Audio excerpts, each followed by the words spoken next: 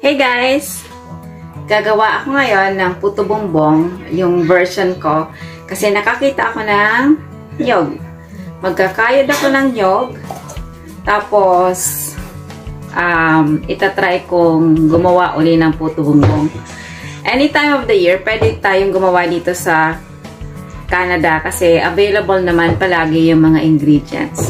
So, whenever nagustuhan ninyong gumawa ng puto bongbong, um, i-follow lang ninyo yung, yung uh, step by step ko dito and ma-enjoy mo na yung um, Filipino snack na ito. Ito yung mga ingredients. Rice flour, glutinous rice flour, coconut, water, butter, ube flavor, and then kailangan natin ng uh, dahon ng saging. Hiniwa-hiwa ko siya ng ganito. At kinayod ng nyog. Cheese. Butter. Ihalo ang ubi flavor sa tubig or sa water.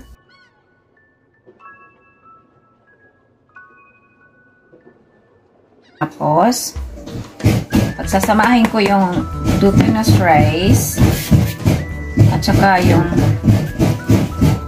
rice flour.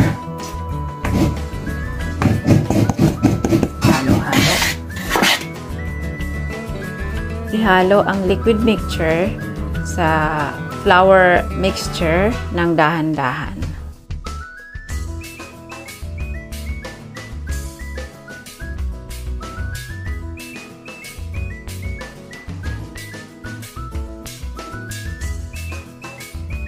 Okay? Ito guys, oh. Tama lang ang pagkaka-masa ko. Ganyan, oh. So, gagawin ko na yung next step.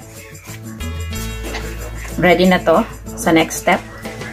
Then, um, sa atin, sa Pilipinas, yung uh, puto bongbong niya, hindi, hindi siya yung pinong ganito.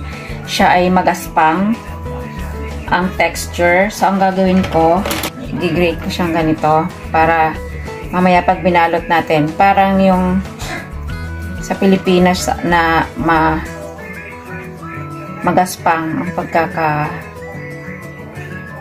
ang texture niya.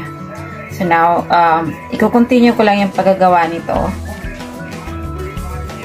Tapos, I will show you kung paano ko i-assemble. Ganyan siya, oh. Ganyan yung texture.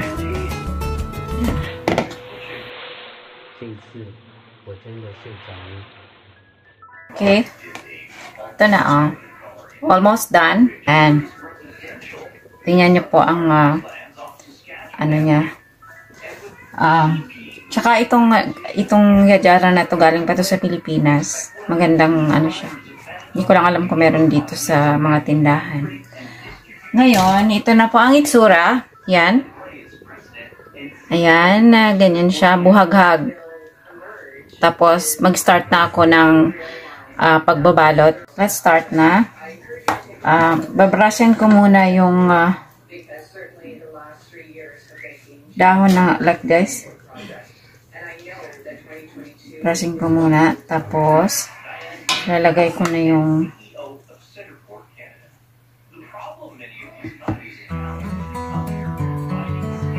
Huwag nyo siyang um, ipipress para mag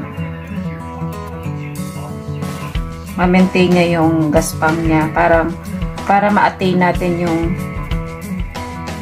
puto bumbong sa Pilipinas.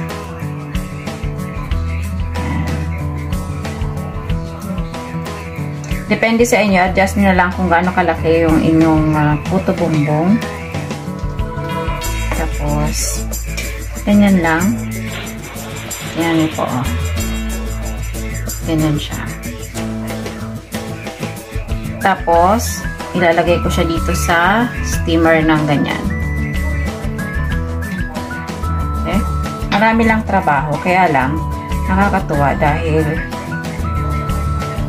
alam mo yun, matitikman natin yung ano sa Pilipinas. Yung 这一次我真的睡着了 yeah i never know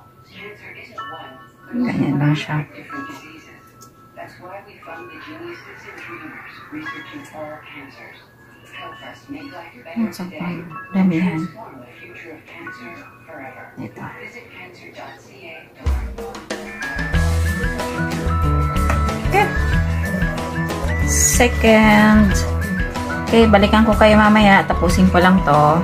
Guys, ready na ito para i-steam. Pin- Yan. There you go. Tuloan ko na ahead of time yung ano, yung tubig. Tapos, i-steam lang natin to ng um, mga 10-15 minutes. Pero, tatakpan ko siya ng foil. Guys, nilagyan ko siya ng um, foil para hindi tumulo yung steam doon sa um, puto bumbong. Tapos na po ang um, 20 minutes. Check na po natin. Ito na. Very nice. Iku-cool down ko lang po ng konti and then isi-set up. So, I'll start from here. See, look. It's very nice. Very nice. See? Here. Mmm. Lipat ko siya isa-isa. Nice. There you go. And then, one more. Uh, wait, uh, just want to finish this for one plate. Okay, here. Yay! Puto bongbong it is. Ang saya-saya, ang ganda ng naging resulta ng aking ginawang puto bongbong. Ngayon, nagsiset up na tayo dito sa table. Sa plate na to.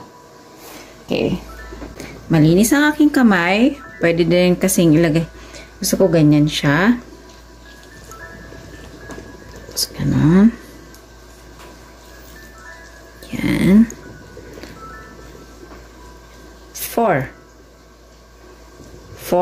Make it five.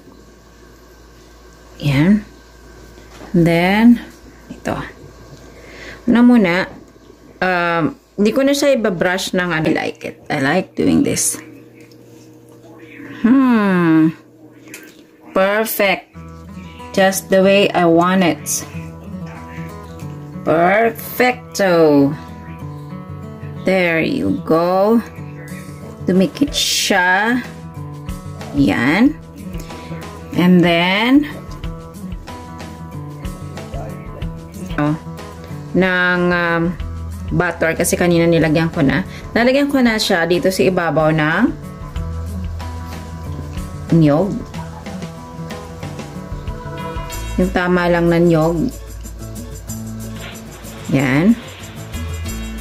And then, and then, lalagyan ko siya ng uh, cheese.